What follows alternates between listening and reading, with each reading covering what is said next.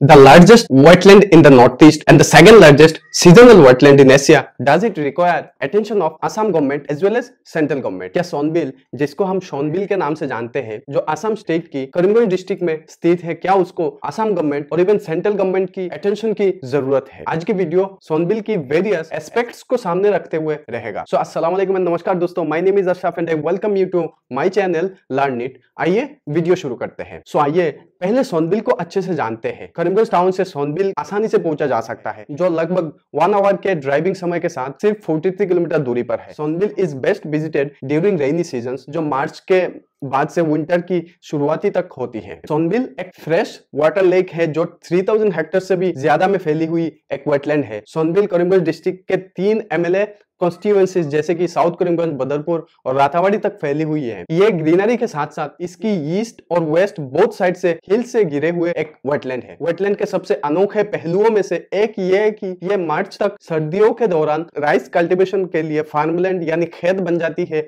और साल के दूसरे भाग में लेक में बदल जाती है। सोनबिल फिशेस रेप्टाइल्स और माइग्रेटरी बर्ड्स के डाइवर्सिटी होम है। सोनबिल को 32 डिफरेंट फैमिलीज़ की 99 बर्ड्स स्पेसिस का होम बताया जाता है जिनमें से 39 water birds 13 water dependent birds और 37 टेरिस्टेरियल बर्ड्स रहे हैं। यहाँ तक सोनबिल हर साल तीन महीने के लिए दुनिया का सबसे मिस्टीरियस माइग्रेंट साइबेरियन बर्ड्स की भी होस्ट करती है। पूरी दुनिया दुनिया भर से बर्ड्स की लगभग 18,000 प्रजाति पाई जाती है जिनमें से सबसे खास और मिस्टीरियस साइबेरियन क्रेंस को माना जाता है, जिसका हमारे देश से एक खास लगाव है। ये बर्ड्स आमतौर पर रशिया की साइबेरिया में पाई जाती है, जो अपनी ठंड के लिए जाना जाता है। इसलिए ये साइबेरियन बर्ड्स वहाँ पे ठंड पड़ने से दूसरे जगह पर चले जाते हैं। 2020 की एक रिपोर्ट के अनुसार पूरी दुनिया में लगभग सिर्फ़ 3200 साइबेरियन बर्ड्स ही बचे हुए हैं। सर्दियों के मौसम में ये बर्ड्स हज़ारों किलोमीटर लंबी दूरी 100 किलोमीटर पर आवर के हिसाब से पार करके इंडिया, पाकिस्तान, चाइना में आके पहुँचते हैं। राजस्थान की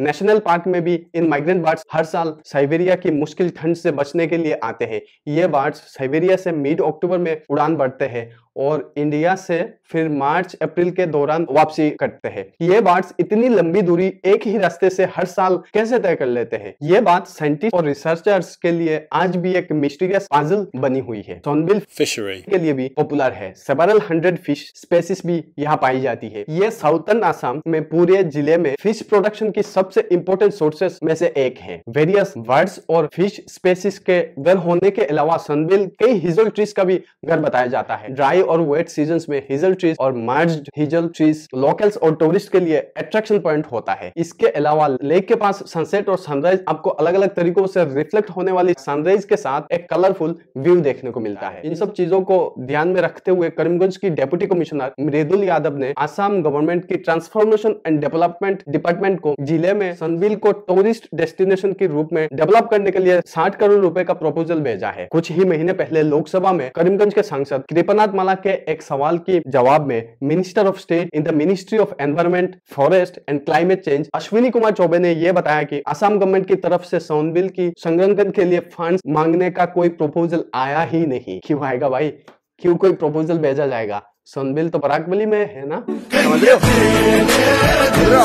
लेक के शैलोनेस रेनी सीज़न में इसे ओवरफ्लो कर देती है और पानी काकरा रिवर के थ्रू कुशियारा नदी से मिलती है और फिर बांग्लादेश में बह जाती है। एनवायरमेंटलिस्ट ने time to time north east की सबसे बड़े वेटलैंड को लेकर सरकार की इग्नोरेंस पर चिंता भी जताई है। हालाँकि letter on MOS Ashwini Kumar Choubey ने इन्फॉर्म किया कि सोनबिल में Assam government the state fishery department and state tourism department ने कुछ डेवलपमेंट वर्क को इनिशिएट किया है। यूनाइटेड नेशंस डेवलपमेंट प्रोग्राम के रिसर्चर्स महाराणा चौधरी दीपक कुमार और अशोक राठौर ने उनके एक रिसर्च हम्बर्ग यूनिवर्सिटी जर्मनी द्वारा एंडोर्स्ड एक study valuation of ecosystem services and benefits of Sonbeel wetland 2020 में ये एस्टिमेट किया है कि सोनबिल की monetary value minimum 6530 rupees per hectare per year से मैक्सिमम 22 लाख 4537 रुपीस है। रिसर्चर्स का मानना यह भी रहा है कि सोनबिल में Ramsar designated wetlands of international importance में लिस्टेड होने का भी पोटेंशियलिटी है। रेमसर साइट क्या है? रेमसर कन्वेंशन एक्चुअली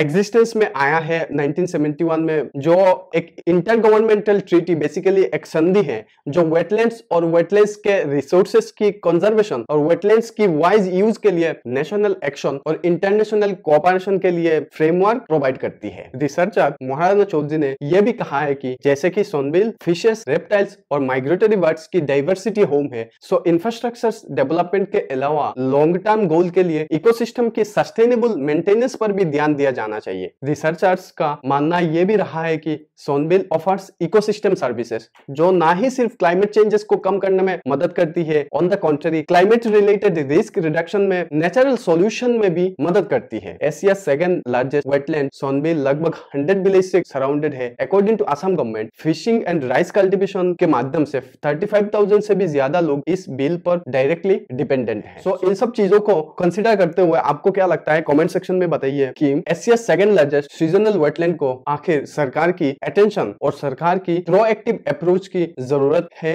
या नहीं? बराक वैली की अनएक्सप्लोर्ड ऑयल और नेचुरल गैस के ऊपर भी एक वीडियो आपको मेरी चैनल लर्न पर मिलेगी। सो so, आपने अगर वो वीडियो भी नहीं देखी है तो लिंक डिस्क्रिप्शन और कमेंट सेक्शन मिल जाएगा। सो so, आप वो वीडियो भी देख सकते हैं। आज की वीडियो यही तक वीडियो अच्छी और इन्फॉर्मेटिव लगी तो वीडियो को लाइक कीजिए। कमेंट सेक्शन में कमेंट कीजिए। और चैनल को प्लीज़ सब्सक्राइब कीजिए। Thank you for watching my video मिलेंगे किसी दूसरे वीडियो में। तब तक गुड बाई टेक केयर अल्लाह हाफिज जय हिंद